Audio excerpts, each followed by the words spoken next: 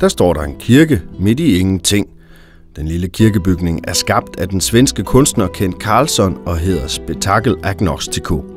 Værket er skabt af spejlglas, der reflekterer vandets lys, og også lavet krydsfiner og stål. Har man forelsket sig, kan man få Spectacle Agnostico med hjem i haven for godt 400.000 kroner.